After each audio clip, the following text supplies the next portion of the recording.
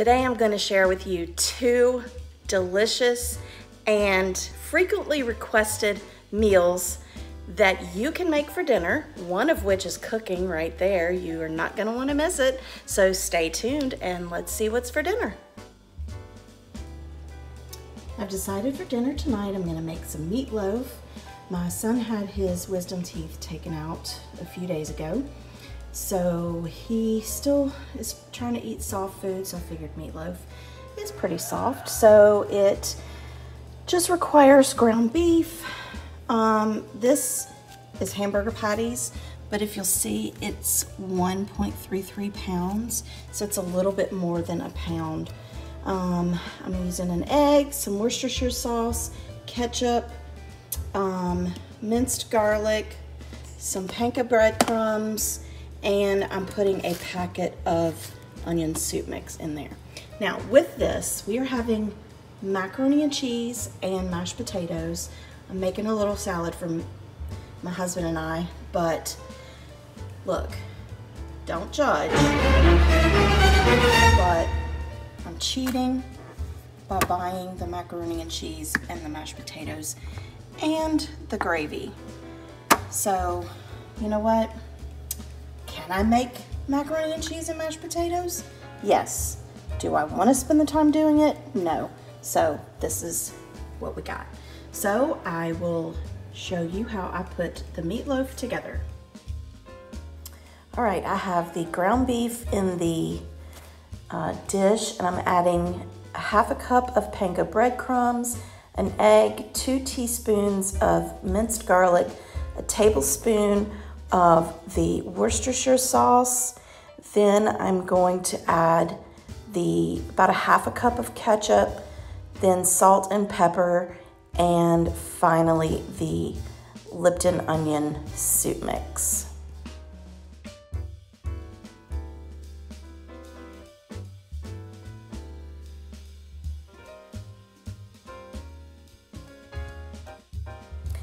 All right, I am going to use this fork because I don't like touching raw meat. I'm going to use the fork to mix it really well. And once I mix it up and everything is well blended, I put it in a casserole dish that I've sprayed with some oil. And the video stops before you can see me spread it out. But anyway, I do that and then I put it into a 350 degree oven and let it cook for about 30 minutes.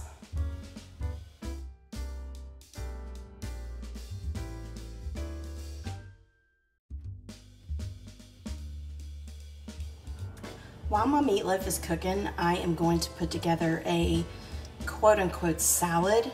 Um, it's not gonna have lettuce, it just has these three ingredients. Ken's uh, Steakhouse Light Balsamic Vinaigrette, a packet of cranberries and glazed walnuts, and a, I guess, medium-sized cucumber.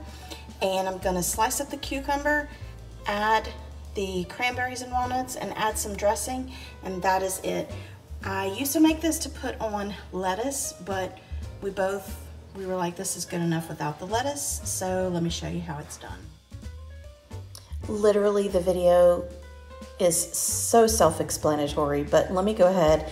I just cut the cucumber in half, I take out the inside and then I cut the cucumber um, halves into thirds and into slices so that they're little bite-sized pieces. Then I just literally add the bag of cranberries and walnut walnuts and the dressing, however much dressing you want, mix it up and that is it. Now for the glaze that I put on top of the meatloaf, I just have a half a cup of ketchup and two tablespoons of brown sugar. I mix it up really well and then after about 30 minutes of cooking, I take the meatloaf out of the oven. I pour the sauce on top, pour the glaze on top, spread it out evenly and put it back into the oven for about 10 more minutes. You wanna make sure the internal temperature of the meatloaf is 160 degrees.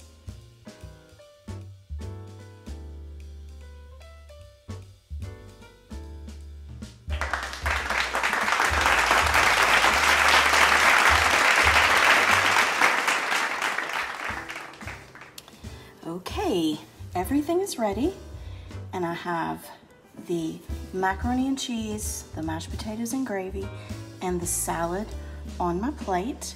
And so now I'm going to serve up the meatloaf. And it looks yummy.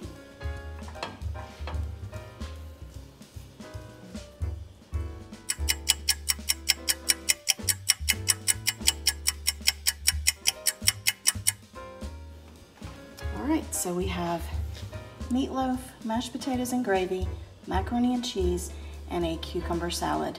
And that is what's for dinner.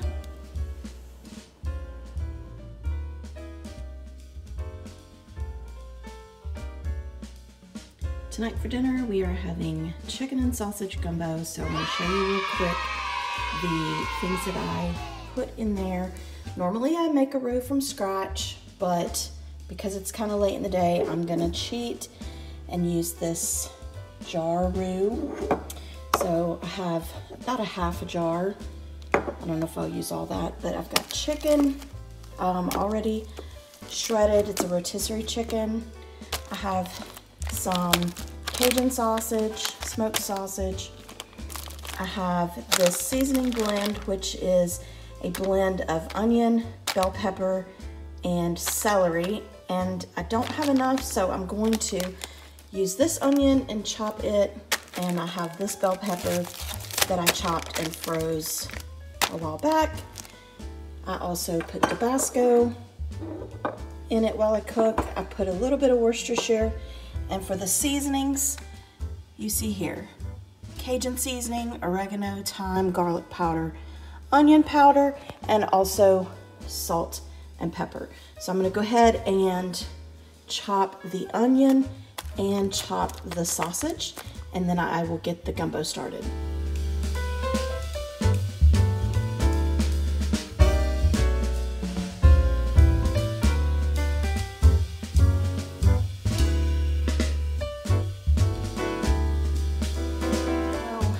the roux, like I said, is this jarred roux and it calls for four quarts of water in here and four heaping tablespoons of the roux. So I'm gonna put that in there. Actually, let me get this to make it quicker and less noisy. So I'm gonna do four of these and what it calls for you to do is let this cook for about 30 minutes. So while this is cooking, I am going to bring the camera over to the other side of the stove so that you can see me cooking. I like to cook my sausage and vegetables before I put them in the pot. Um, I don't know, just because I like the the grease from the um, sausage. So while this is cooking, I'm gonna let this roux dissolve. You can see in here what it looks like. Kind of looks weird. So while it is starting to dissolve and gonna let it cook for 30 minutes, I'm going to saute my vegetables. The seasoning blend, the little bit of the onion that I chopped up and the bell pepper that was already chopped up in my freezer.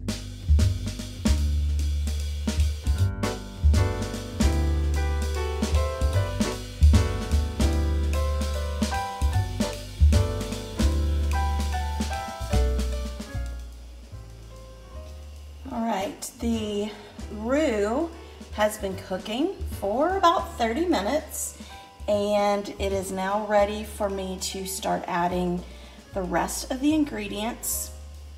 So the first thing I'm going to add to it is the sausage and vegetables. I'm just gonna add that to the pot.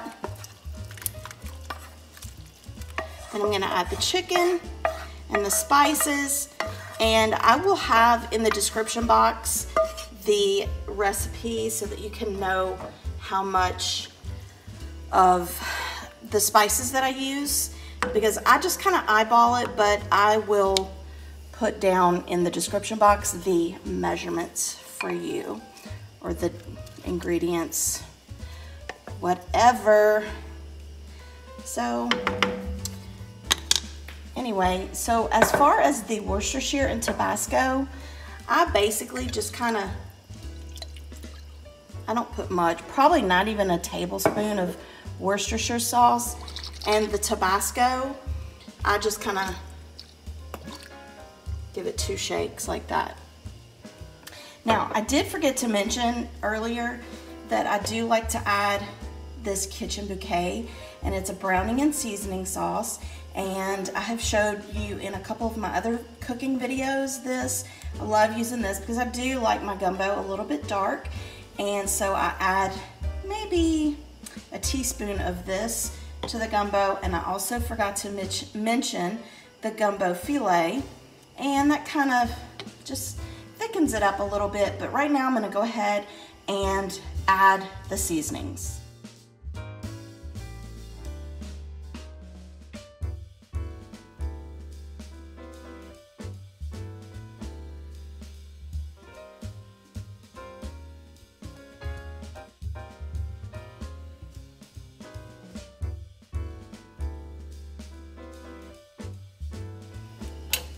This container of beef broth is probably bigger than what I would normally use, but this was the one I had in my pantry.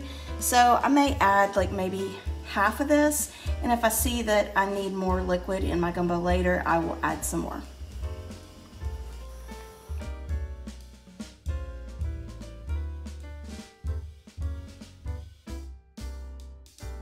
All right, here it is. The rotisserie chicken is already cooked, clearly. So it's just a matter of it cooking long enough to heat up, but I will probably let this cook for a couple of hours. And then I'm going to make some jasmine rice to go with it and some garlic bread. Goodness gracious, I would forget my head if it wasn't attached to my shoulders. Anyway, I forgot to mention that I also add in a bay leaf. And I'll let that cook in there. So yeah, it's starting to boil. And I'm gonna turn it down on low, like a very low simmer. And like I said, I'm gonna let it cook for a couple of hours. Let all those wonderful seasonings marry and I will see you in a couple hours. All right, the gumbo is ready. And it smells so good. So I have my jasmine rice already in the bowl. I have my garlic bread. So now I'm just going to serve it up.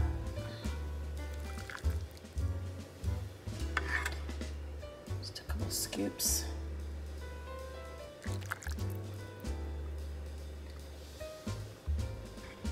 And that, my friends, is what's for dinner.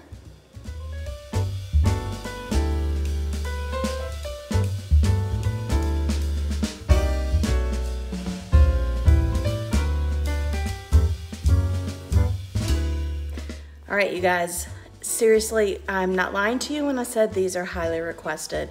Sometimes when I'm asking what my family wants for dinner, I have to preface it by saying not gumbo.